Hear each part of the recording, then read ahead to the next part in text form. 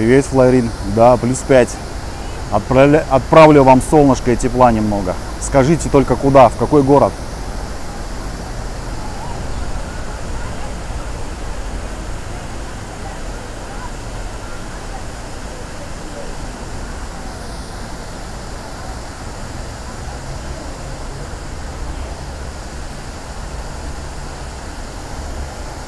Воронеж плюс 5. Понятно.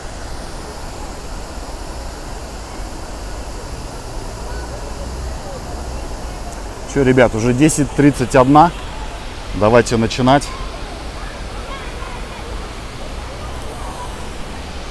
Так, я нахожусь на площади Николы Пашича. И она является самой молодой в Белграде. Построена она была в 1953 году. А строительство началось где-то вот после Второй мировой войны. Раньше здесь проходили трамвайные пути, старые здания стояли. Мэрия на тот момент решила все это убрать и сделать ее такой пешеходной. То есть она должна стать местом прогулок своего рода. А до 1992 года площадь называлась Площадь Маркса и Энгельса. Вот это памятник Николе Пашичу. Это бывший мэр города. Также он был главой правительства королевства сербов, хорватов и словенцев.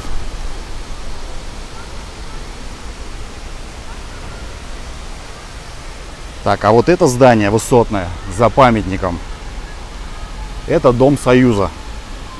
Оно было построено в период 47-55 годов, 1900. И строилось как место проведения культурных мероприятий. Кстати, в этом здании есть орган концертный. И он, по-моему, 1958 года. А вообще этот двор как бы известен, знаете, как называют, МТС Дворана. Тут компания МТС, я так понимаю, что просто двор МТС, что ли, вот такое общее название. А если мы пойдем за это здание, можно пройти через арку вот ту, либо по дороге, то там будет гостиница Москва.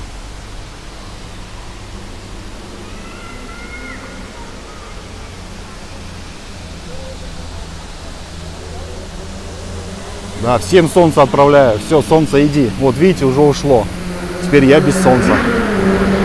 С вами поделился. Так, а вот это фонтан. Он был построен в 1959 году. У меня даже есть фотография. Сейчас покажу вам.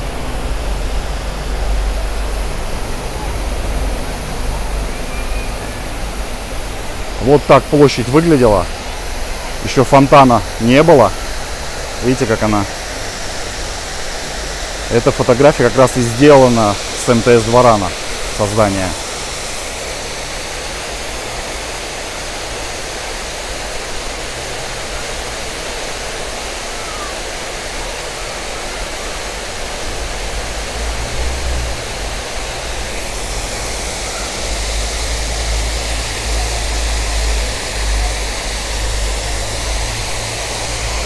Такой фонтанчик.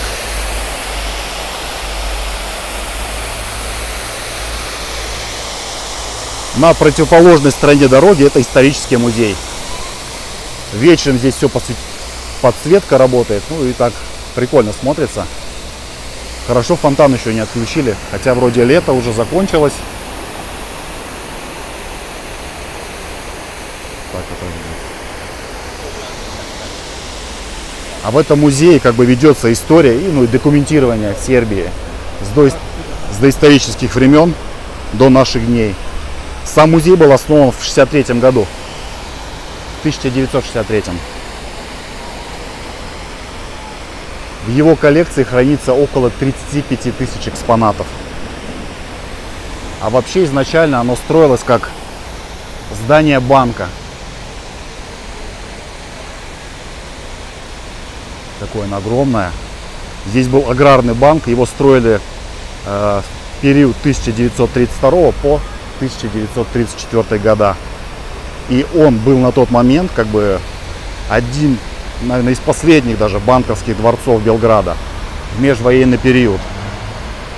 Это здание должно было как бы оцелетворять, оцелетворять олицетворять, извиняюсь, политическую и экономическую мощь страны. Но оно реально прям огромное. Если подойти ближе, ощущение, что оно прям давит.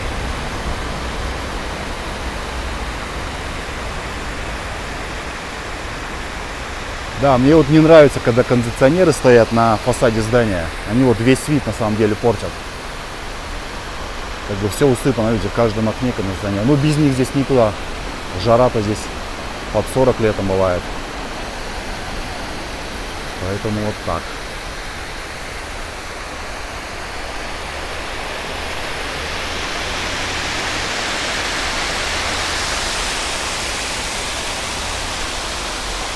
Да, летом под 40.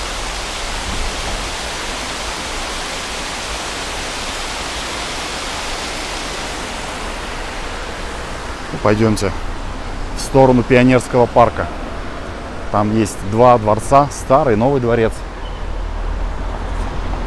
Пока у меня красный, покажу вам.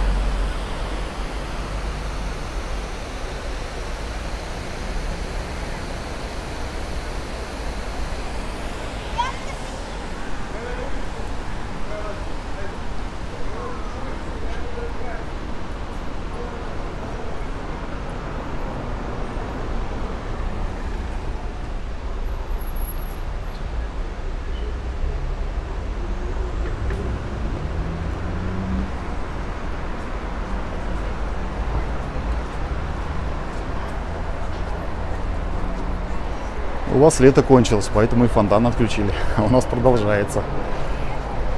Здесь, кстати, тоже батареи включали неделю назад. А сейчас отключили, видимо, посчитали, что лето вернулось. А еще бывает, знаете, днем как бы батареи греют, а ночью просто отключают. И ночью ну, встаешь и холодно. Экономят, наверное. Так, вот это пионерский парк. Да, у детей тоже экскурсия.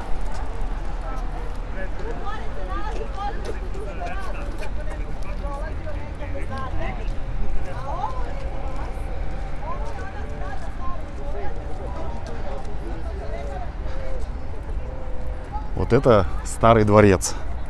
По левую сторону тоже к нему подойдем. Там новый дворец эти дворцы как бы являются первыми дворцовыми комплексами в Сербии.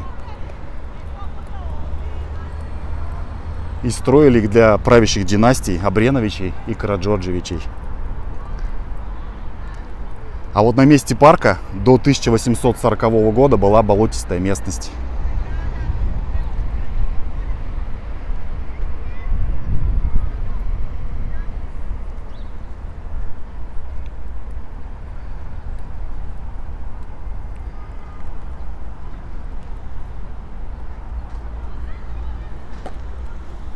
Этот участок засыпали землей. Его, по-моему, приобретал ну, на тот момент одни, такой, один из самых знаменитых и влиятельных людей в Сербии.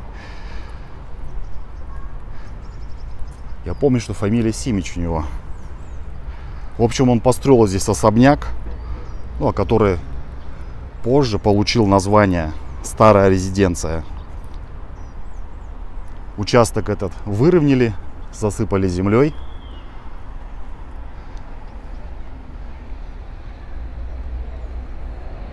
так это выглядит.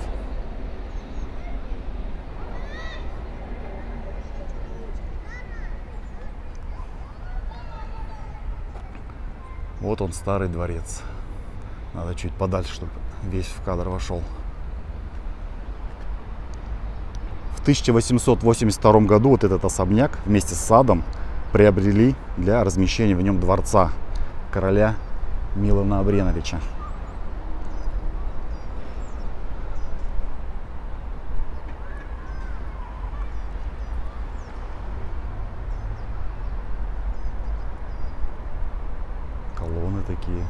Ну, фасад, знаете, такой вот особо ничем не примечательный с этой стороны. А вот, по-моему, с дороги, если с той стороны обойти, там более такой симпатичный.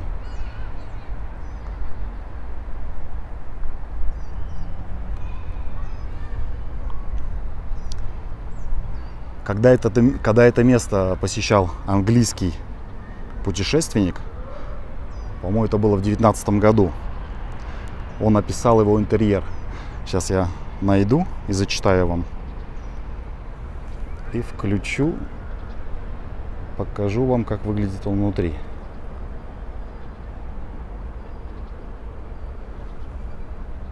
Это вот лестница.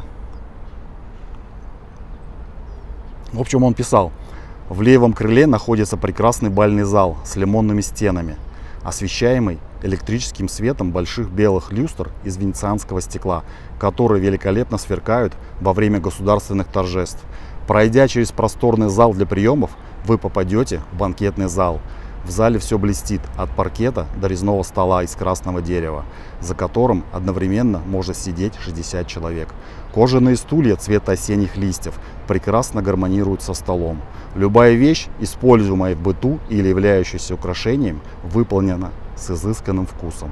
Еще больше ваше воображение поразят резные потолки изумительной красоты, унаследованные от османской эпохи и их моды. Вот, в 19 веке писали об этом.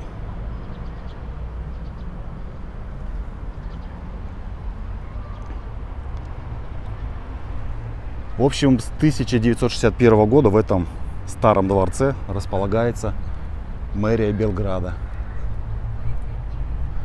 Вот по правую сторону тоже дома 19 века. Но вот этот дом слева коричневый, видите, там в окнах как бы занавешено, ну, ремонт, видимо, идет. В этих люди живут. Но по этим домам информации я не нашел, кто их строил и когда.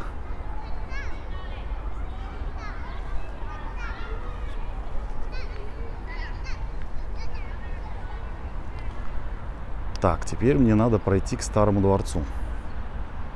Ой, вернее, к новому дворцу.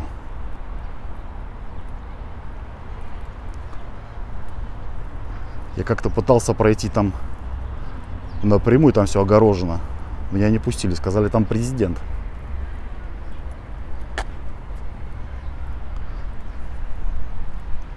Вот этот новый дворец был построен в период с 1911 по 1922 год как двор короля Александра I, Караджорджевича.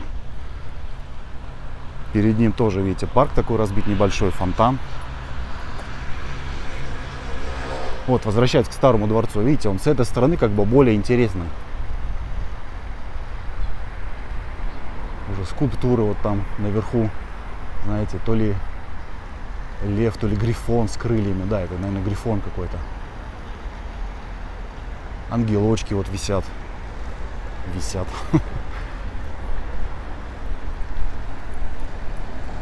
У Лео, видите, возможно, лук. Ну, стрелы точно есть, а лук, лука не вижу. А вправо держит какой-то букет цветов или что. Давайте, надо показать все-таки с этой стороны. Колонны, конечно, смотрите, какие.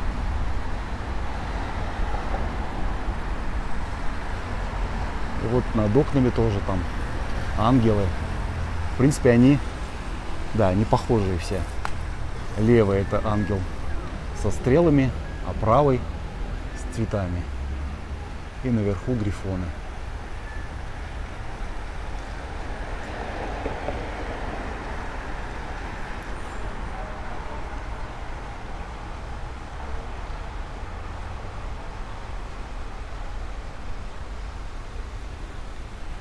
Да, с этой стороны реально здание очень красивое.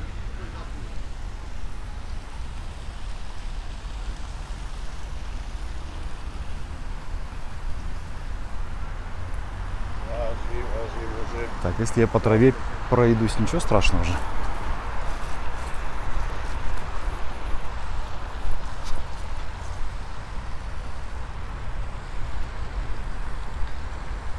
В общем, вот это здание новое, оно задумано и построено в духе академизма.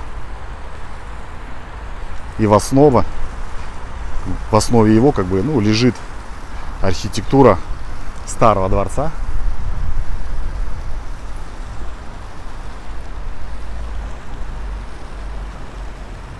Ну, не очень, кстати. Мне старое здание больше нравится.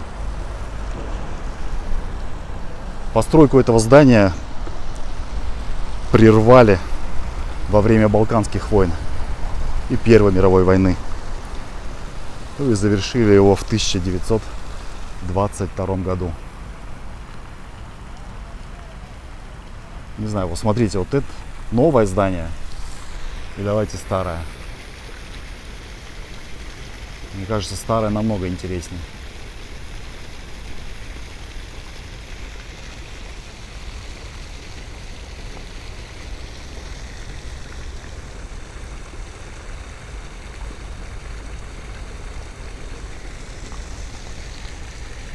Как вам? Старое или новое все-таки?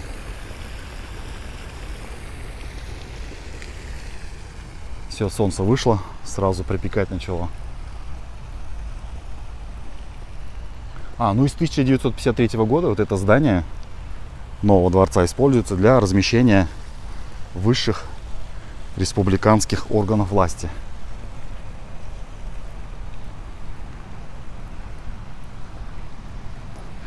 Пойдемте в парк, он называется Пионерский.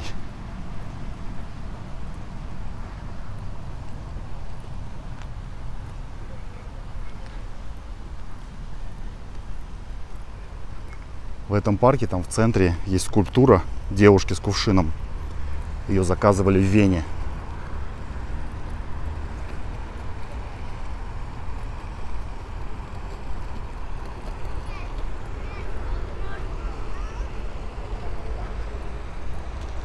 Вот такая площадь. Новое здание.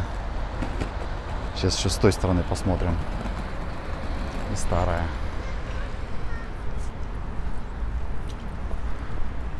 Вот видите, здесь закрыто. Я сюда пошел. Охранник выбежал, там давай руками размахивать. Вы куда? Я говорю, ну хочу здание сфотографировать. Нет, говорит, нельзя, там президент. Ну ладно. Пришлось уйти.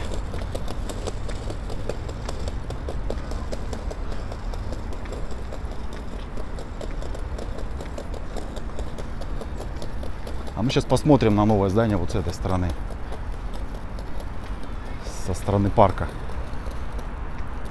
Так, и про девушку с кувшином надо не забыть. Где-то она здесь в парке. По-моему, вот там за детской площадкой. Мы к ней сейчас придем. Так, ну, наверное, только отсюда смогу показать.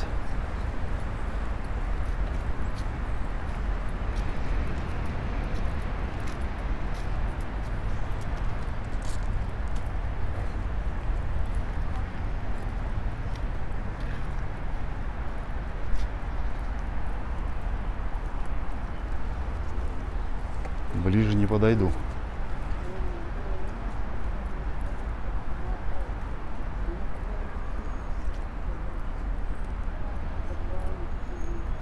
Знаю, Марта, а вот мне нравится больше старое.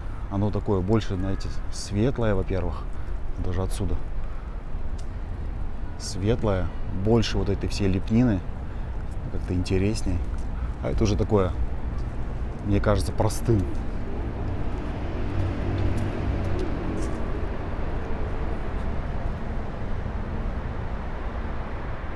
Даже вот смотрю и не за что глазом зацепиться. Ну, в общем, оно как бы неплохое, да, в общем.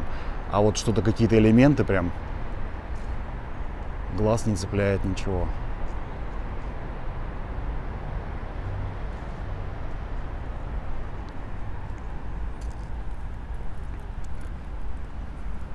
Так, пойдемте, пойдемте, пойдемте. А, давайте вот так пойдем. Через парк. Там есть два домика интересных. Случайно их нашел, увидел. Так, и не забыть про девушку с кувшином, а то сейчас так и уйдем мимо, пройдем. Здесь рассказывается, что посажено.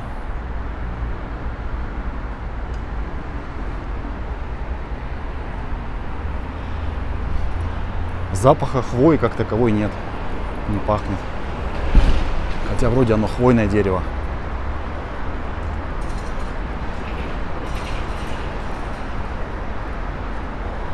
от здания. Наверное, такое, это современное.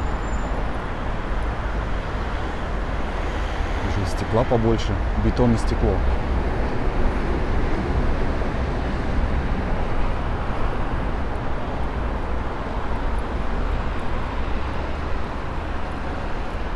Так, где это здание? Это вот здесь оно.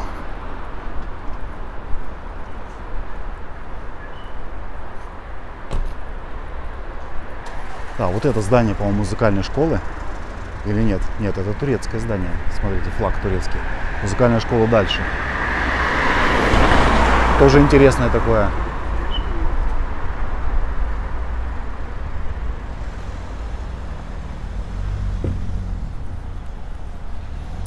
О, прошел мимо. Ежик.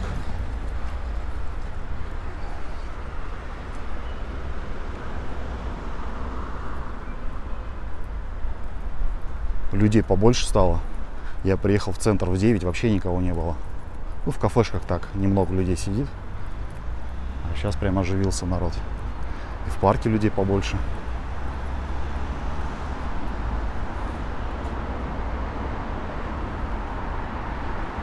Да-да, старое и новое здание, это единый комплекс дворцовый.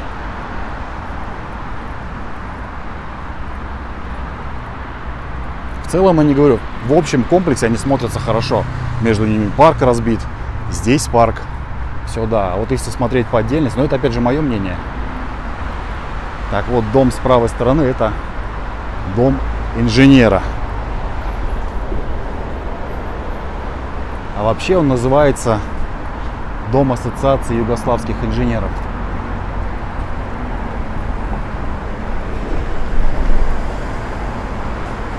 Его построили в 1933-35 года. Вот и не скажешь, да? С левой стороны, посмотрите, такое прям, кажется, старинное, красивое. А это обычное, но с историей.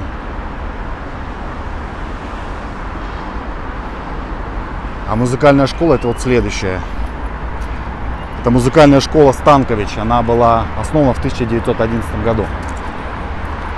А строилось оно как музыкальное педагогическое учреждение.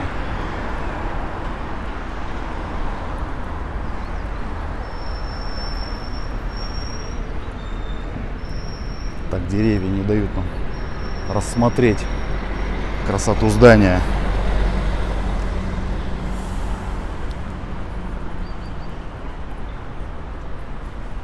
Я уже до следующего памятника нашел, дошел.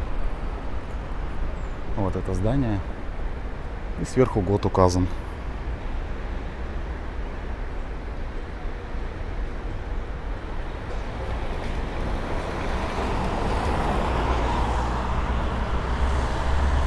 Хочу показать вам памятник. Он как бы получается на окраине парка находится, на углу. Он называется смотровая башня из Каймакчалана. Этот памятник является символом победы ну, для сербов. Сербская армия одержала в Первой мировой войне победу на горе, на горе против болгар. А гора называлась Каймакчалан.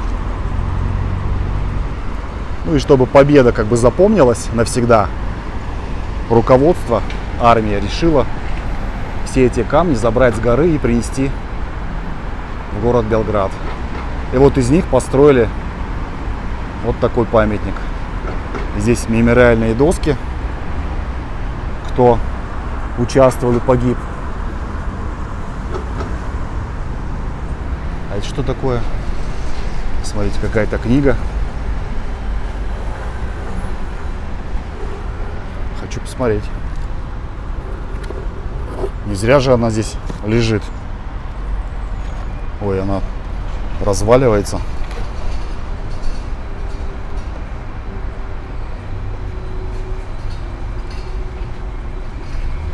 Тысяча девятьсот семьдесят девятый год. Для чего ее положили здесь?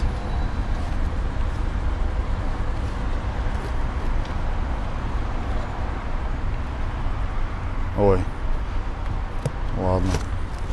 Не знаю, для чего она здесь стоит. Здесь, видимо, вторая книжка должна быть.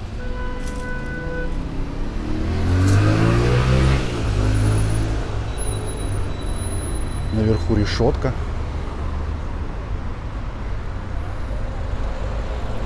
Пойдемте памятник посмотрим. Памятник фонтан. Девушка с кувшином. Да, такая, видите, импровизированная гора.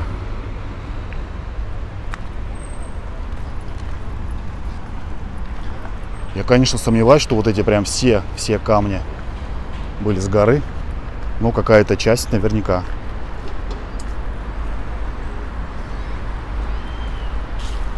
Вход закрыт.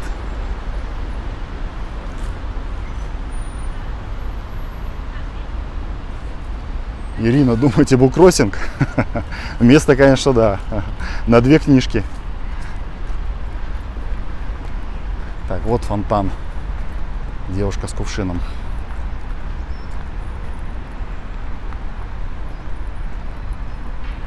Так, про то, что его заказывали в Вене, я уже сказал. Фонтан не работает. Интересно было бы посмотреть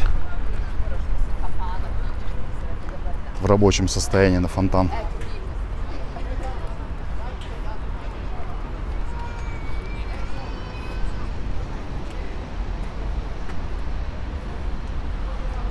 А, у нее из кувшина получается. Вода должна была литься. Ну, вот такой фонтан. Давайте еще раз вид на парк. Тут детская площадка.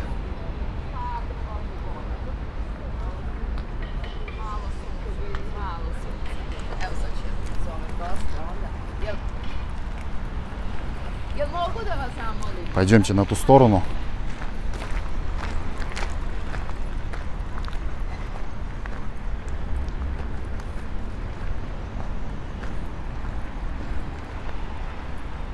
Здесь так свежо, прям вообще. Солнце не светит, прям прохладненько, хорошо.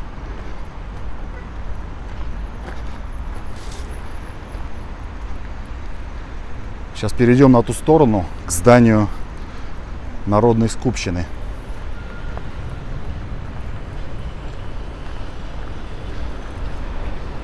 Кстати, вот эти ограждения возле скупщины тоже постоянно стоят. То есть туда пройти поближе не получится. Только издалека. Давайте сначала отсюда покажу вам. Чтобы оно все вошло в кадр.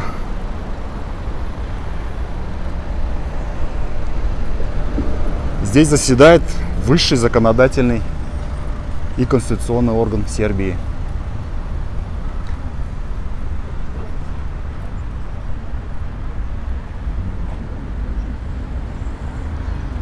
Строительство этого здания началось в 1907 году, а первый камень заложил сербский король Петр I Караджоджевич.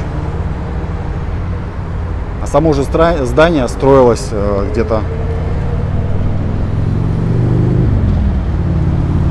наверное, до 1939 года точно, потому что кони были установлены последними. То есть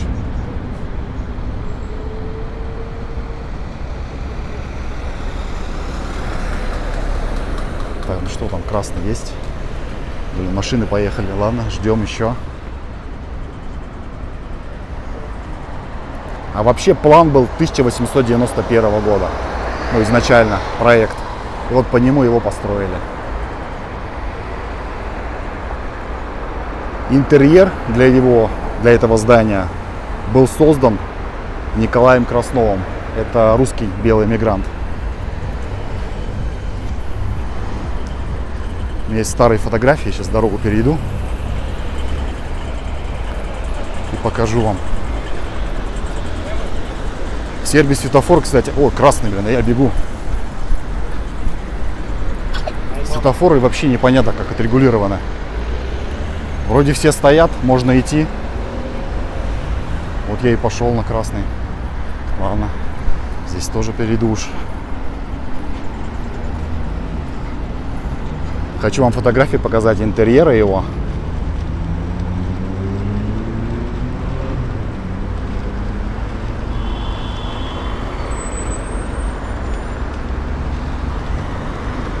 Это вот интерьер дворца.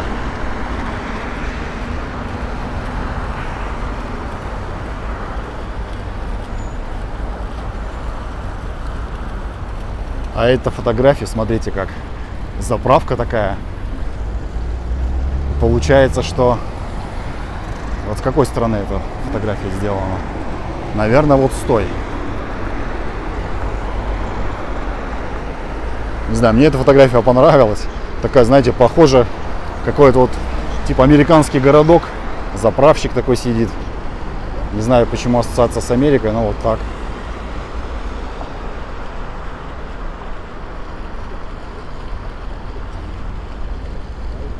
Такая фотография есть. Вот они, трамвайные пути, которые были снесены. И старое здание.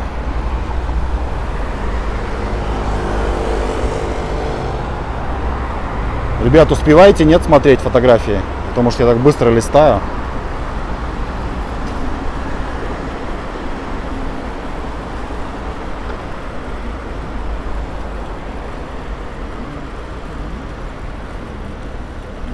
Это такая уже... Хотя, смотрите, видите, здесь перед входом нет скульптур коней.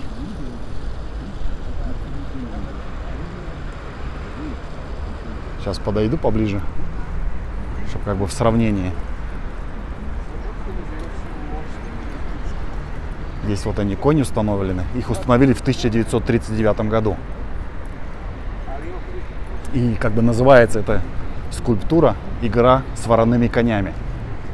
Где-то видел, что название пишут «Вороные кони» и э, «Вороны». Ну, я думаю, это что-то с переводом было связано неправильно. Неправильно переводчик переводил.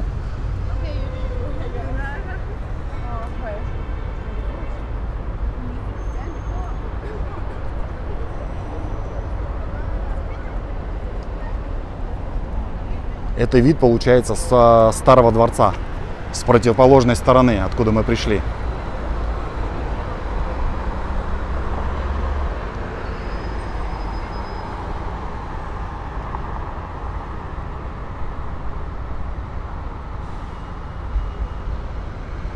Так, что еще у меня есть?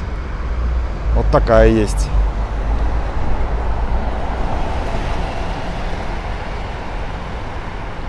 Это получается как бы сбоку, да? Вот отсюда, наверное, сделано. Можно посмотреть, какие здания остались, какие нет. Видно купол церкви и здание... Но это не здание почты, получается. Здание почты, наверное, позже построили. Судя по фотографии, какое-то другое здание там вдалеке.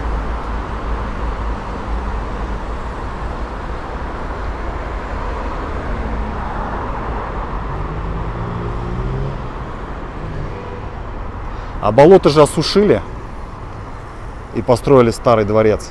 Поэтому болота уже нет, уже есть парк.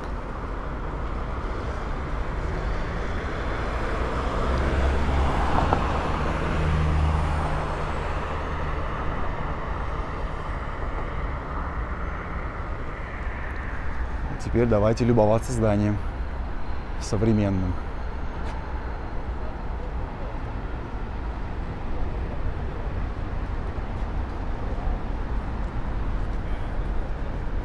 Жалко, нельзя поближе туда подойти. Над входом. Кто там над входом? Ну, тоже два ангела. Причем левая это жен, женщина, ну, женского пола, а справа мужской пол. Огромные крылья у них.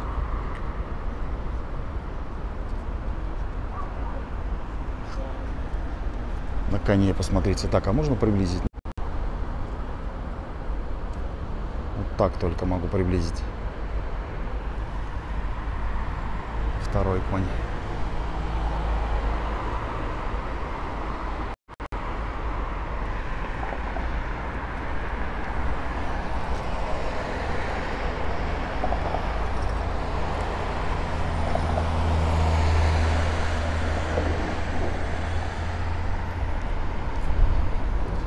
Обычно по выходным, видите, ограждено. Здесь стоят какая-нибудь, э, стоят сцены, не знаю, но ни раз не видел какие-то мероприятия. Но сцена постоянно. Сегодня, кстати, ее нет.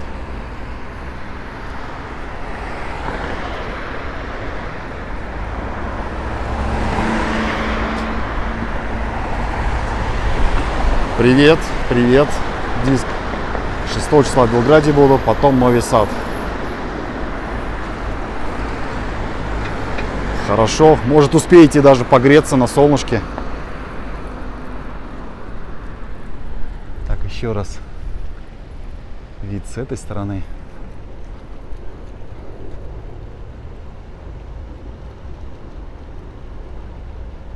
Похоже на здание парламента. Ну, не совсем, конечно, похоже. Наверное, только зелеными крышами в Будапеште здание парламента. Ну, там вообще, да. Там другое здание. Наверное, только крыши, цветом крыши. Купола. Мы его обойдем. С той стороны тоже посмотрим. Впереди здание музея. Давайте еще вид на старый дворец.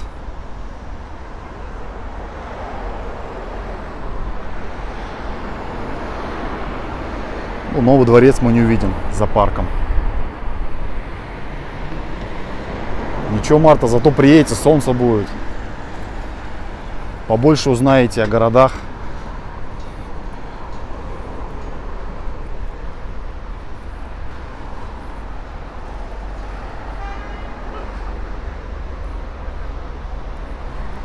Да, спасибо.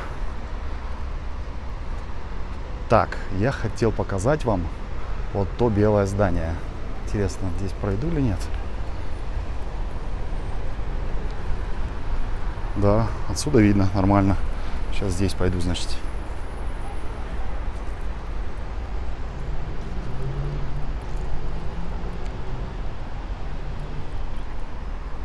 Вот это здание такое светло розовое, не розовое, такое слегка розовое.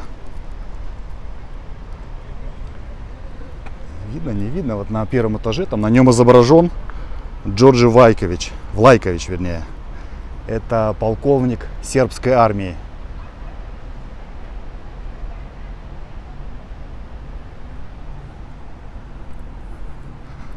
Так, и здание с этой стороны.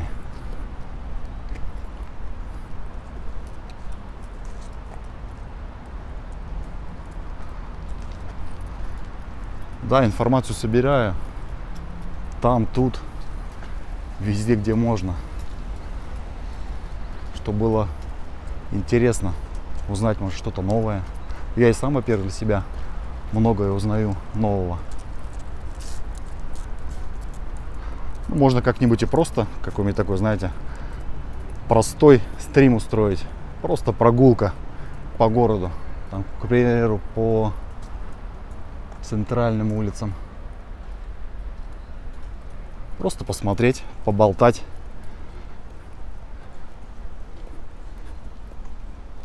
А вот я еще факт такой вспомнил. Э, первый буддийский храм в Европе был построен именно в Белграде в 1920 году. Но, к сожалению, его после Второй мировой войны снесли. И где он стоял, я не нашел информации, на каком месте.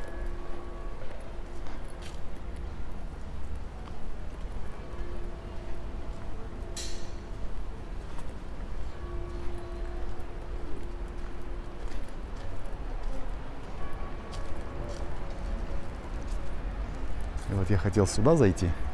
И вот отсюда вам рассказать, что на месте, раньше вот на месте парламента находилась турецкая мечеть. Называлась она Батал Джамия. Ее возвели в 16 веке. И на тот момент она была самой большой и большим зданием Сербии. А еще раньше на этом месте находилось римское кладбище. Так что вот такой круговорот. Этой стороны. Такое менее, знаете, оно менее оформлено. Но вот над входом, над балконом, вернее,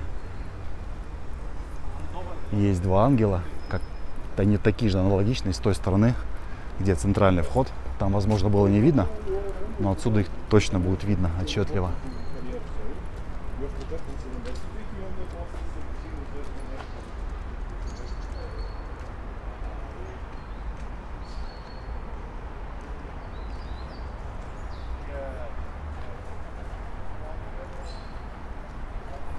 Жалко, там погулять нельзя. Интересно было посмотреть.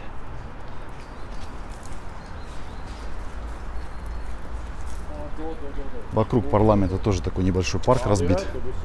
А я хочу вам показать здание старой телефонной станции. Она уже вот выглянула у меня по левую сторону.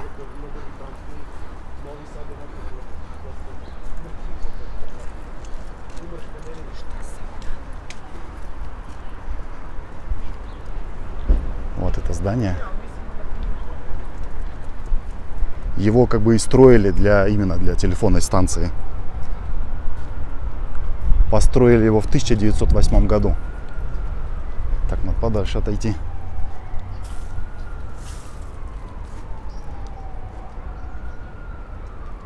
Третий этаж был надстроен после Первой мировой войны.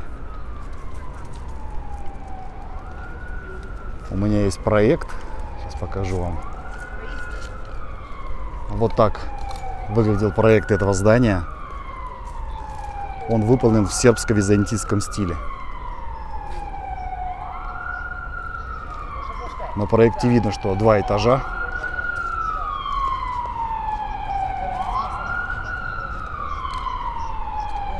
А еще где-то читал, что оно считается масонским. Я, правда, не понял, почему. Вроде я никаких тут символов масонства не вижу.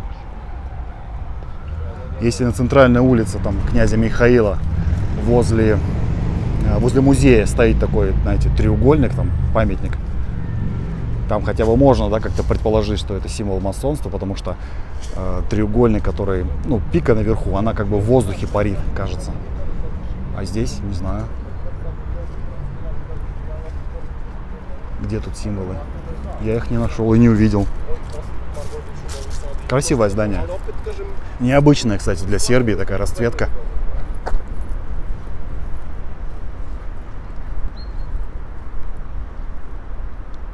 Как вам, ребят? Видит нет кто-нибудь символы масонства? Мне вот до сих пор интересно.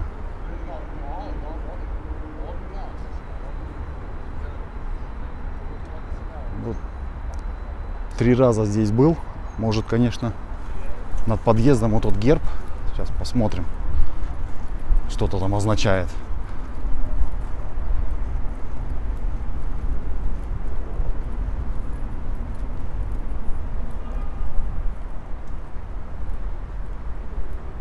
Вроде тоже ничего не вижу такого масонства.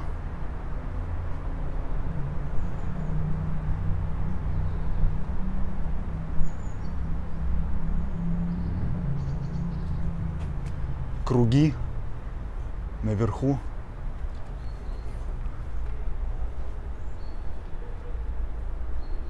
Не знаю, просто как бы такие фигуры резные. Ладно.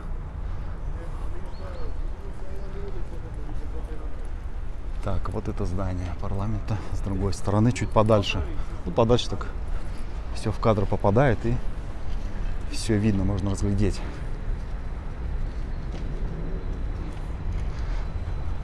Так, давайте отправляемся теперь к зданию почты.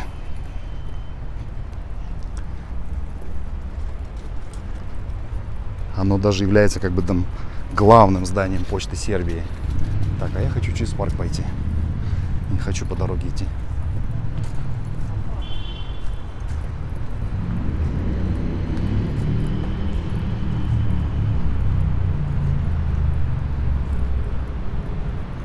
Вот это здание почты.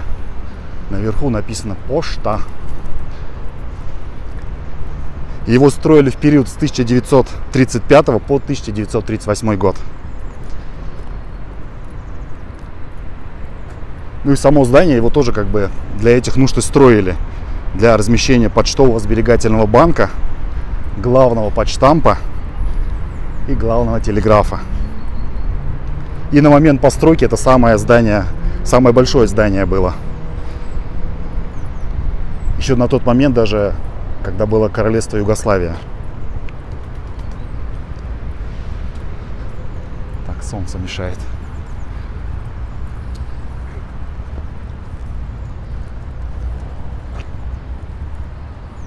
Вот оно тоже огромное прям.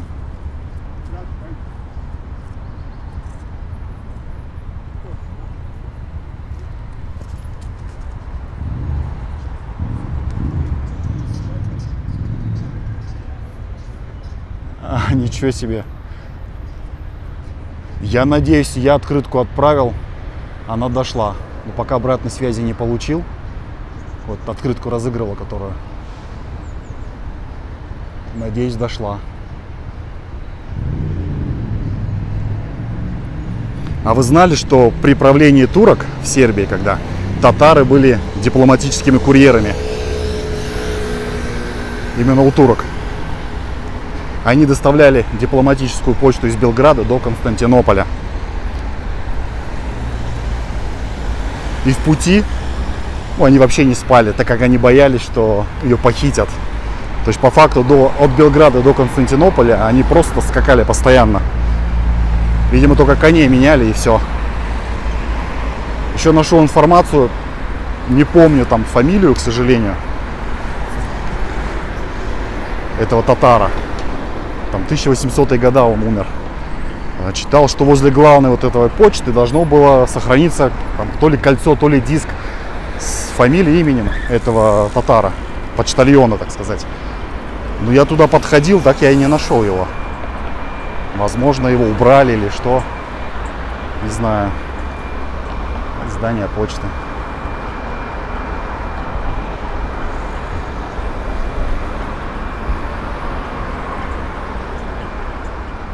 Город холмистый, даже видно, да, что я наверху, а там вдалеке спуск вниз. Так, зеленый, пошли.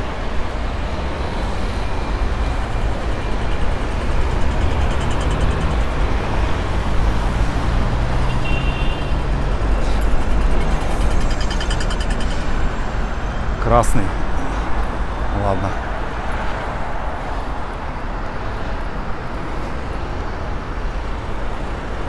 А вот с этой стороны уже будет здание суда. Посмотрите на эти фонари. Когда их увидел, думаю, ничего себе. Огромные какие.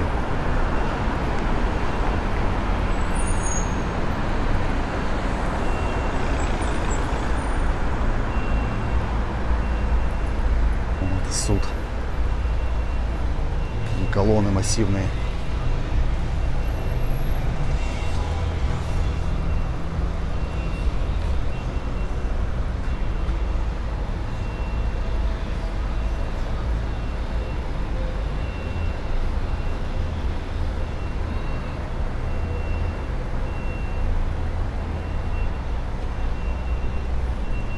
Фонарь меня, конечно, поразил такой большой. Пойдемте дальше. Так, впереди у меня сейчас будет парк Тачмайдан.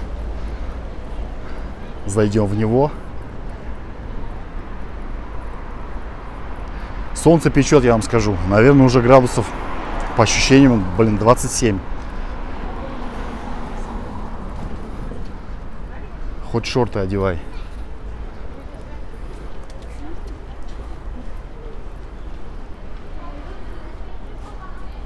Да, здание такое массивное, прям большое, красивое. Давайте на той стороне посмотрим, что.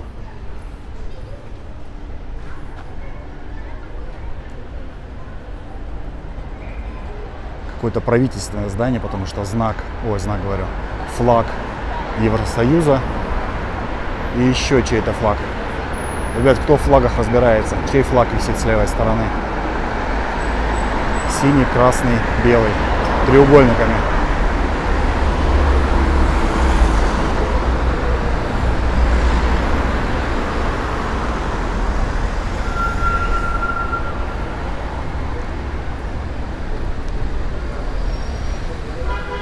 Здесь прям так живо все. Трамваи ездят, людей побольше, автобусы. Можно в этой стороне тоже как-нибудь погулять. Просто идти в ту сторону. Даже на трамвайчике прокатиться. Часть пути. Думаете, чешский флаг? А мне казалось, другой чешский флаг.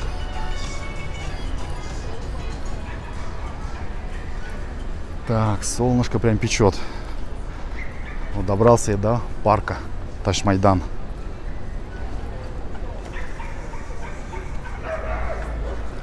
Он там туда продолжается дальше, на холме. Здесь такая площадка для выгула собак, за ней детская площадка.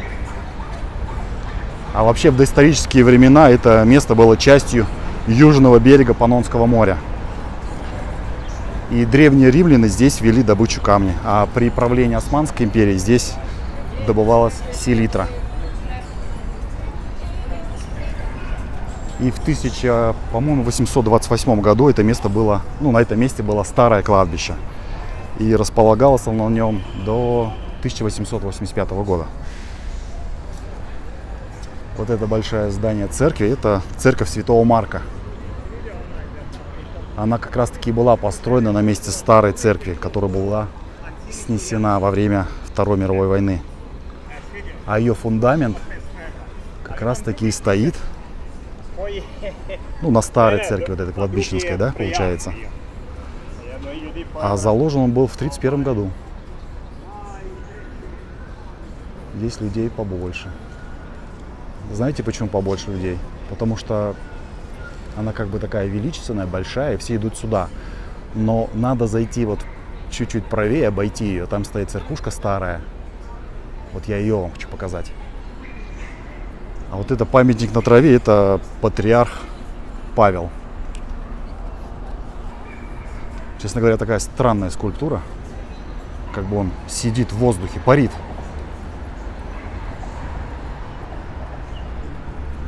Вот в эту церковь я знаю точно не зайти с камерой. Подождите, у меня есть фотографии. Сейчас.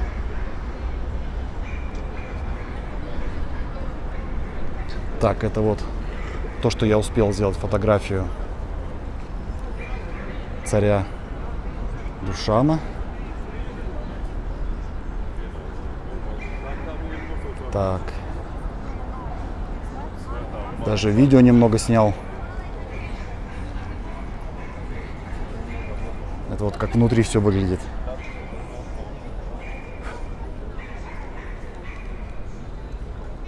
Давайте еще раз включу. Может, что не успел посмотреть.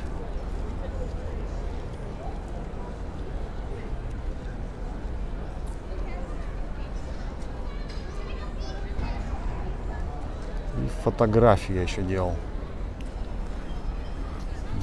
Блин, на меня паук запрыгнул, скачет по мне.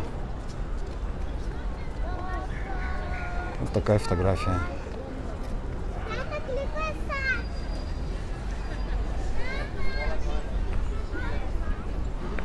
А я ночью здесь не был. Я был пару раз, пару-тройку раз днем в основном. Ночью не был.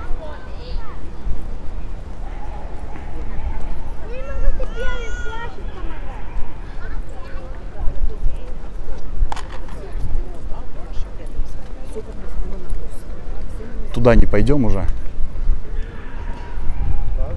Так, давайте заглянем за угол.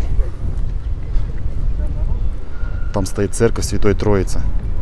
Она была основана в 1924 году русской белой иммиграцией. Вон она, видите? С зеленой крышей. Поэтому здесь народу много, как бы выходишь, вернее, заходишь в парк, все, она первая тебя встречает. Пойдем туда. В 1929 году э, здесь был перезахоронен главнокомандующий русской армии генерал Врангель.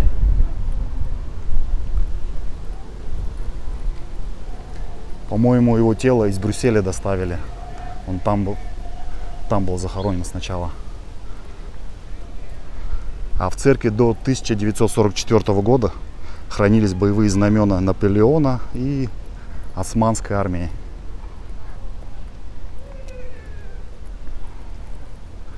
Вот она такая старенькая, спряталась. Туда вовнутрь, кстати, тоже зайти проблематично с камерой. Прям сидит там мужик и не дает сфотографировать.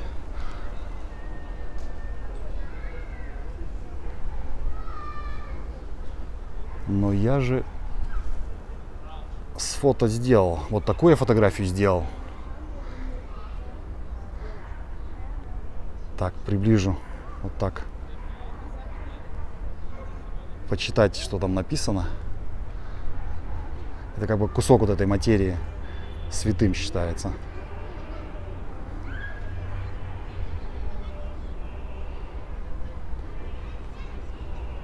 Так, и...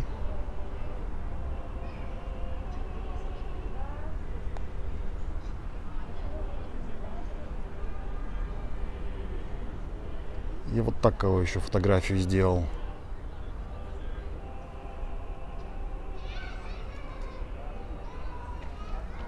Да, они не разрешают. Я фотографировал как раз вот, э, вот эту фотографию, а зашел мужчина прям сходу. Давай снимать. Ему замечание сделали. А я, видимо, спиной стоял, он меня просто не видел. Ну, странно тоже, когда не разрешают фотографировать, я не понимаю, почему. Вот такая фотография есть. Это вот как раз перед ней сделана фотография. Это, по-моему, фотография, знаете, когда сделана, когда ее освещали. Да, да, точно.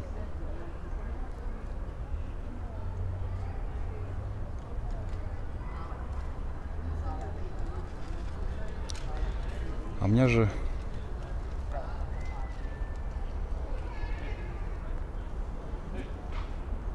А вот эта церковь старая, святого Марка. То есть это вот это на месте, которое сейчас большая стоит. Вот так она раньше выглядела. И вот такая еще есть фотография. Это тоже святого Марка. Еще на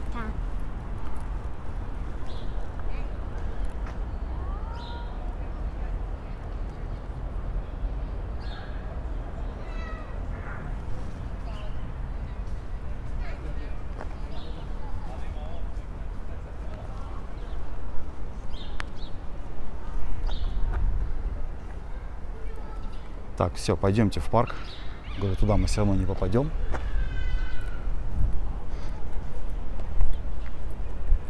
Вот этот парк, так, где дорожки? Дорожки, вот дорожка. В 1950 году стал городским парком. Здесь есть памятник Гейдару Алиеву. Помните, я видео снимал, где я на велосипеде. Первый обзор был там на велосипеде, я катался. И рассказывал, что чем связан да, Гейдар Алиев там, к Нови Саду или почему памятник стоит. Оказывается, при поддержке Азербайджана в 2011 году этот парк реконструировали. А еще вот это место, э, оно как бы важное для сербов. Тем, что в 1830 году здесь была прочитана Хатишериф. Хатишериф это, как сказать, это грамота. С этим Хатишерифом султана Махмуда Сербия получила внутреннюю автономию.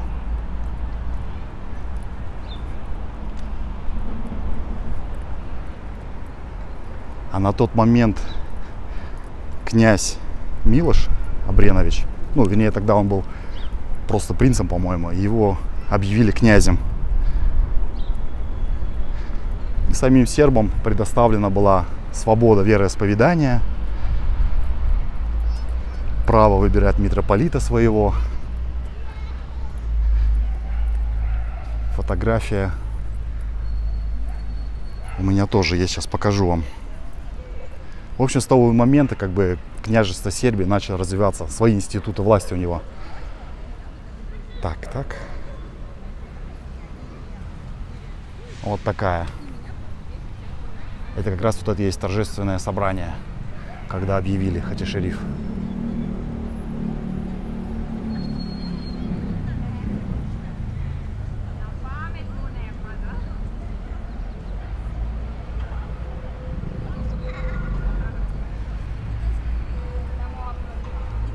Да, храм такой небольшой, так заходишь там. Единственное, я не понял, там какая-то вот стоит икона, или не, да, по-моему, икона. И в ней цепочки там, кольца, часы. Не совсем понял, почему они там висят. Может, они принадлежали там царской семье или что. Если кто знает, напишите.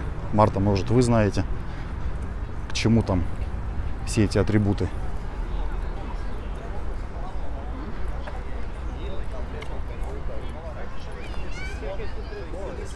Такой большой парк. С той стороны стадион, детская площадка. Этот парк как бы наша финальная с вами точка. Пишите свои вопросы, комментарии. Давайте поотвечаю на них.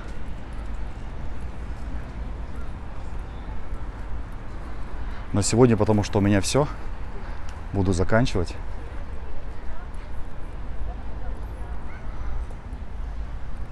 Ребят, лайки прожмите, кто не поставил. Кто не подписался, подписывайтесь. В следующую пятницу выходит видео про город Обреновец. Обреновац, правильно. Это такой своего рода курорт. Находится он здесь недалеко от города, минут 45 на автобусе. Я уже там побывал. Там купальни, лечебные воды. Интересный городок. Есть там дом 18 года, э, да, 18 века, 18 века. Я попал в этот дом, хозяйка меня пустила, поэтому будет интересно, думаю, посмотреть на него, как там люди живут в этом доме сейчас.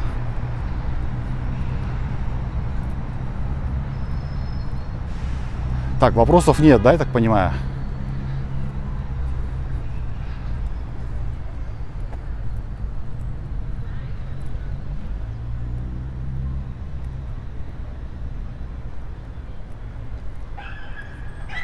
Да, мне даже говорю, вот старый храм, он больше симпатичен.